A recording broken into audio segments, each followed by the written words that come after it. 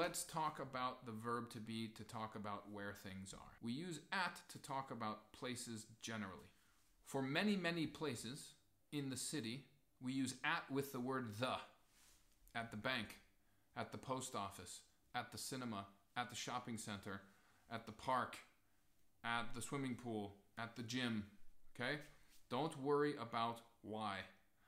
Just remember that for these places we use the. Below is a table with the places in the city that we use the with.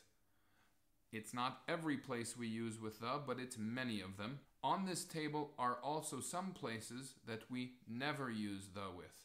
We never say, for example, at the home. We never say at the work. Sometimes we say at the school, but there is a special context. Okay? If someone says, Where is your son? At school. Where is your daughter? At school. Look at that list and remember the examples that we use with the and without. Okay, in we use when something is in another thing. You use in for cars, for taxis, for limousines.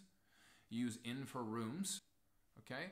We also use in with at when one place is big and a second smaller place is in the first place. At home, in the kitchen. At school, in the classroom. At the shopping center, in the supermarket. We also use in for cities and countries. I live in Bielsko-Biała, in Poland, in Europe. Okay? Remember that we use these examples with to be. The word on we use when there is some kind of surface and there is something physically on that thing. So for example, the wall is a kind of surface. The picture is on the wall. This is called a light switch. The light switch is on the wall. My shoes are on the floor. My shirt is on my body. Oh, look, there is a fly on the ceiling. My cat is on the balcony. So you have at, in, and on. Okay, if you want more pronunciation examples, go to the website www.forvo.com and enter Show Me Andrew, and you will find many words that I have pronounced on that page that you can listen to for help.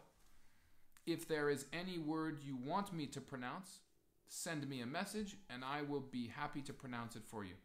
Thanks for joining me. Come back for more videos and more blog lessons. Talk to you soon.